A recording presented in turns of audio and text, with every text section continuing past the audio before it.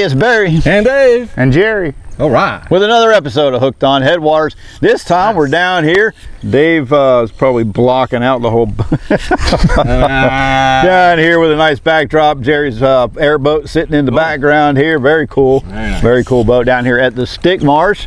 So uh, as we mentioned, new faces, new places. We're going to be filming from different locations, different lakes, different areas. Give you guys something different to look at in the background and uh, catch a little bit of what we're, uh, you know, the, the beauty that we get to see every day. When we're talking to, you know, more for the guys that are up north and gals up north. You know, great places down here when you come down to fish. So, uh, you know, we want to give you a little taste of that just to tease you up and get you going. I got to get down to Florida. got to fish with these guys. So, sit. Or somebody just messaged me. Hey, I want to come down. trip. That's it. Hey, it's Veterans Day week, and we want to salute and honor those who are serving in our military, those who have served, and those who gave it all, and their family. And I salute all serving and all that have served. Thank you. God bless America. Thank you, Dave. Yep. Thank you. So, as you're coming on down here to fish, to book your trips, is to come down to fish, whether you're fishing on your own or grabbing a guide, uh, we want to make sure that you uh, don't forget about the Davis House Inn. It is the best place to stay. It's in Sebastian. It's right on the river. There is wa- it's walking distance to some great uh, restaurants and some bars, and just a super place for the family to stay. Really big rooms, super clean. You can count on a great experience with Kyle down there. You can hook your boats up uh, to the electrics. You can charge up your batteries. You got a hose to wash them down to get the dust off. And if you mention Hooked on Headwaters, Kyle will give you that special discount. So And if you decide to go saltwater fishing, he does have a dock where you can keep your boat while you're, during your stay. So that's right. it's all around really, really great place to stay. And if you want to step up your stay down there, you want something different to do as well. Get hold of Dave here. We will go. go kayak fishing, put you on. Well, actually, he- Dave's got three good trips. You know, this is a good time to mention this because we don't really mention this. Dave not only does fishing trips, but we also do eco tour trips Eco because tours. there's. Go ahead, you tell them. So we do eco tours. This is a great place of the country to explore the back, the backwaters, Mm-hmm. if you will. We also do um, trips here in Stick Marsh and in Headwaters. We also one of my mo- most popular trip is our island excursion. So we take I take a group out to one of the islands. It's kind of your own island. I bring out little chairs. We hang out. You get to swim. You get to explore the islands. Many of these islands are connected, so you can uh, walk these trails, walk from island to island. Really, really a cool trip, something different. So you, uh, if you're planning a vacation, hey, uh, book a trip. Yeah, because a lot of times we know the families come down, dads, a lot of times we go grab Yep. a guide, and Yep. then the family's kind of there. So this makes it, you know, that's something else you can do with the family. And these And- are pedal drive, folks. Yeah. So uh, leave your hands free to take pictures, fish. So it's a very unique underwater experience. See dolphin, manatee, birds. Right behind us here is where all the spoonbill mate. Will be. Yep. So they're not here yet from July to January. Yep. So keep that in mind, and um, you'll have Kyle's information down below as always. They'll put that there, and we'll have it down in the description. So um, hey, let's move on. All right. Off I go to the camera. All right, Gerry. What's up? How'd the week go, man? You know, we're talking about uh, you know. Shiner fishing here is, is has been pretty good. The artificials have been pretty good, but you know, let's talk a little bit about what how did do for you this week? I fished in Kenansville a couple days this week. Uh, big numbers of fish, but not too many big fish. Did lose a couple, probably. You know, you don't know how big, but eight, nine pounds probably. Uh, I fished yesterday in Kenansville, and we caught probably 30. Um, all shiners, all shiner fishing. Um, we fished some in headwaters last weekend with shiners and did really well. Yeah. Caught a lot of fish and a lot of big fish. Um, also, this week I'll be in Kenny, or I'll be in I'll be in headwaters all weekend and most of the week fishing, and um, we'll see what goes on there, and we'll talk about that next week. But right now, Kenansville is producing fish. Um, not so much on artificial, but they are Yeah. hitting shiners Well, and now- in the hydrilla. We were talking about this though. They came in and just They nuked waylaid that place. So last year in Kenansville, we were catching record size fish in record numbers. I had a guy last year bring his boy and he caught six bass and six cast over six pounds. One was eight and one was 10. And this was a common thing every day. And then in September, they came in with helicopters and they sprayed a two-year growth. For two years, they let the vegetation grow in there, and it had a tremendous amount of water hyacinths, uh, water cabbage, eelgrass. I mean, it was just loaded with mats, anything and everything, which, you know, that attracts the grass shrimp. The grass shrimp attract the bait fish, and then the bait fish attract the bass. And it was spawning season at the same time, and it was just a magical place. The fish are still there. I mean, they're landlocked. They're not going anywhere. Right, right. But the cover is not there for them just to be in one area. Gotcha. They're just spread out over the lake now. I'm hoping in the next couple months we have a full moon coming up on the 19th with these cool fronts coming in. Uh, That's going to push these fish into shallow water so they can bed. And you know, there's only so many places in there that are shallow like that that they can get up in. So I mean, you know, we'll see what happens in the next couple months in there. Sure, right.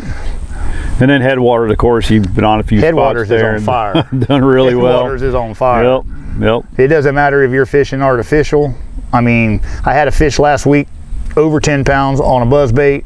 It doesn't, I mean, it doesn't matter. It doesn't matter if, if you're buzz bait fishing, if you're speed worm fishing. Um, you know, as long as you're fishing the breaks and you're fishing that hydrilla, I mean, you're, gonna gonna, you're them. gonna catch fish in there. Yeah, for yeah. sure. No doubt. So, uh, yeah, the good things looking forward to this week coming up as far as those, you know, as far as the lakes overall, weather conditions going to be. The weather's going to be in the 70s. We got a little bit of rain coming in Saturday. It's supposed to be a little rainy maybe. Mm-hmm. Tomorrow it's supposed to be a little rainy, but it's, it's just a small front coming in. But beginning of the week's going to be in the 70s. Nighttime, Monday night, Tuesday night are going to be in the, in the 50s. and then, and then in, It's and during- cold for us Florida boys. yeah, I don't like it cold, but them, you know, listen, them fish like it. it. They're like us. They don't like that heat. Yep. so when that water starts cooling down, they start getting active. But it's going to be in the 70s, and it's going to be, you know, mild wind. One day it's going to be out of the Monday, I think, is northwest, and then Tuesday is going to be out of the northeast. Um, but it's going to be mild temperature, dry. The air's going to be dry. Not Yeah. going to be a whole lot of humidity in the air. So it's going to be a good week. That'll be nice.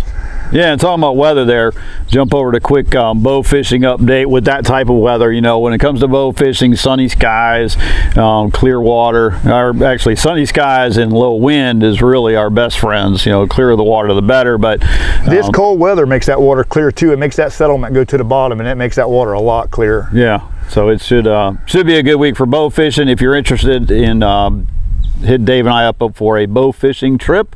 That's another thing that we do. We're doing guided trips for that. Um, currently, we're doing freshwater, and we're going to be adding saltwater on as well as we're coming into the winter for flounder and sheep's head. So, um, if your plans are out for December, January, um, let us know if that would be something you'd like to do as well. Something you know, go take a bass fishing trip, and then let's go uh, stick some uh, flounder, sheephead, or just go out and have a great time shooting tilapia and gar. Yeah, Yeah. a lot of fun. Lot, lot of fun. Once they, once people get that first, Actually, that coming first in, fish, they, yeah. they just they're hooked. coming in from Kenansville yesterday, right back here in the backdrop, there's a place that just a big, just a big open area back here. And as I was coming across there yesterday, I mean, just tilapia were just going nuts. I mean, they were just going everywhere. So I mean, it's just there's tilapia out here to shoot all day long if you want to shoot them. Yeah, absolutely. It's lots of fun, and we don't just take them and throw them back either. We uh, put them to good use. That's it. They are good eating too. Dave's wife, uh, she could open a restaurant cooking tilapia. I'm telling you, she does the best job ever cooking them. So uh, yeah. So anyway, there we are with that. All right, going to jump over to Gerry here. Uh, one of the things we like to do as a regular part of our shows, we've done them we're going to continue to do them, is rig ups, talk about, you know, whether it's baits, what, artificials, live baits. So we really want to break down because a lot of folks that are coming down, if you just, you know, I mean, you're a fan of shiner fishing, if you just want to catch fish, shiner fishing is the way to do it. But there's some things that you need to know as far as rigging up that are is going to be give you the best chance of getting hooked Okay. up. So here we go. If you are interested in getting into shiner fishing, or if you've just started shiner fishing and you don't really know exactly, well, you know, what should I use? What should I buy? I like to use a seven foot medium heavy action rod. Now these rods here I build. I build them myself. So, but that doesn't mean anything. You can go to any sporting goods store, Dick's Sporting Good, Walmart, Bass Pro Shop, anywhere like that, and you can find a good quality seven foot rod medium heavy action, 8 to 17 pound test. But What I do is I use braided line Power Pro. It is a 1250. It's a 12 pound diameter, which this is rated for 8 to 17, so that, that's well in its range, but it is a 50 pound test. You need that 50 pound test because these fish are big. These shiner fish that you catch, majority of them are big fish, and you need a line that you can get them in and out of that hydrilla. You know, if you got a 12 or a 15 pound test line, the chances of you bringing that fish in are slim to none. This reel here that I've got this rod matched with is a Penn 4000. It's a saltwater reel, but it's a heavy duty reel, and that's why I use it. Now, the other rods that I have set up are set up with Pfluegers. Pflueger's an inexpensive reel, but it's a good quality reel, and it take a lot of abuse, and that's why I use them because my customers abuse them. So when you get up here to the hook part, I use a, I use a number of different hooks, but this hook I find here is the best for customers. It's it's got a good hookup rate. It is a six aught eagle claw circle hook, and I take this cork and I just run it about 30 inches with depending. Right now, about 30 inches where I'm fishing, about 30 inches or so above the line, no weight. And you know, if you're in some heavy hydrilla and it's you know only a foot below the surface, then you can lower that down. And if you've got that kind of cover, you can hook that shiner through the back. Um, you know, if you want him to run a little deeper, you can hook him through the, through the mouth. But basically, that's what you need to to move these big fish if you're going to use them to, to catch shiner. You know, for shiner fishing, if you're going to use that to fish with for bass. It's just a heavy setup. It's got a lot of backbone and you don't have to worry about anything. It, will handle it. And you know, that's what you need. And that's what I use and that's what I recommend. Yeah, it'll definitely do the job. Yeah. And you need that medium heavy because I well, use, you, I'm, I'm a spinning have, um, guy, you know, from saltwater for so many years. You know, if you're using if you're using a medium action or you're using something with a soft tip because you're using a crankbait and you know you don't want to jerk that lure mm -hmm. out of that fish's mouth or something like that, that's fine. But listen, don't worry about jerking that hook out of that fish's mouth with a shiner. I mean, you yeah. want to put a hook in it because some of these fish, you know, you hook them in the side of the face and they're just, they got platy mouths, platy faces, and you're just not going to get them in if you don't set a hook on them. So that right there is what I recommend. A medium heavy seven foot rod with at least a 4,000 reel, whether it's a Penn, Shimano, a Pflueger, um, Number 50 pound braid, 12 pound diameter Power Pro, and that's your setup, buddy, right there. So Gerry, I have a question. How do you determine where to put your bobber? I mean, if you're out low, if you're fishing, if you're fishing in five foot of water and the hydrilla is coming three feet off the bottom, I wouldn't set that cork more than about 18 inches deep and I would put that shiner through the back. That way he will walk on top of the water, he'll cause more fuss. And also if you hook them through the back and they do get in the hydrilla, you can just pull a little bit and that shiner will come out of there. Where that if you've got him hooked in the face, he will bring all that hydrilla with him and then you got to get it off of him. If you're fishing and you know, if you're fishing a break that goes from two and a half foot on a flat and it drops off into a eight, nine foot canal or something like that, and the hydrilla is only three feet off the bottom, set that thing three feet deep and then hook him through the mouth, let him stay low and, you know, work it that way. Very good. Yep, it's it's a great time, I tell you. you I'm know. a shiner fisherman at heart.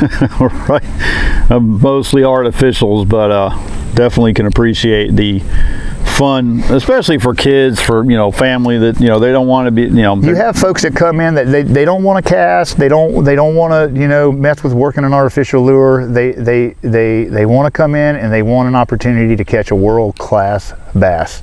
Yeah. And uh, just to me, a shiner is the best way to do it. Yeah, right. And again, it is a lot of fun. it's, it's, it's, addictive. yeah, right. Absolutely. All right, thanks, Gerry. Because that's uh, going to be a big help. I think a lot of people are going to take that advice, and, and you know, once they get into it, like you said, once you get addicted to catching fish, no doubt. So, all right, time to jump over to the hack of the week. Ken's going to go ahead and uh, provide it again. Folks, if you have a hack, send them in. Uh, we really appreciate the hacks that Ken submits because they're always super high quality. And we do want to give a big thank you to Ken for his service. Uh, great guy. If you ever get a chance to run into him, you know, catch him as far as doing his hat, catch him on the water. 37 year, 37 years veteran. Yeah. Wow. Colonel. Colonel, and uh, seen and done a lot. So you catch him at the ramp, give him a A thumbs five up. five. Yeah. Fist bump. Give him a big thank you. We appreciate it. Thanks, Ken, and uh, thanks for putting these hacks out to us because uh, they help a lot of people. So let's jump to it. Okay, guys, this uh, hack is uh, what I call the Franken crank, which I think you'll uh, understand uh, once we're uh, done with it. It's really simple. Only need a couple of things. So, number one, want to get your favorite crankbait. This is a uh, Strike King, I think, uh, DB6 classic uh, chartreuse and blueback. You'll also need a spinnerbait. Uh, you'll want a spinnerbait that you don't want to use anymore because maybe the hooks are rusted or broken or something. Uh, you will want this part to be in good shape because that's what's going to use. For this demo, I just went to Walmart and bought a $1 uh, spinnerbait just to use. And then you'll need a pair of pliers and you'll need a pair of cutting dikes. Okay, so real simply, all you're going to do is you're going to take your spinnerbait and you're going to cut it off right at the end of the wire where the, the head is, okay? And you just break that off just like that. You're not going to need this anymore. This is all we're going to need, okay? Then the next thing you're going to do is take a pair of needle nose pliers and you're going to make a little tiny uh, loop in it just like that there okay and you're going to do and so it's going to be pretty much just like that okay then you're going to take your crankbait and all you're going to do is you're going to hook this blade onto the front of this split ring for your crankbait and crimp it okay? And I'll show you what one looks like here. I've already completed one okay? Like I said you take your uh, bait there and you just crimp it right onto there. And now what you've got is you've got a crankbait with a pair of spinnerbait blades on it and let me tell you the action of that is really something unique that uh, the bass have never seen and so if you're interested in cranking and that's the kind of thing you like to do uh, give this a try I think you might be amazed at how effective this kind of thing is if you like crankbait fishing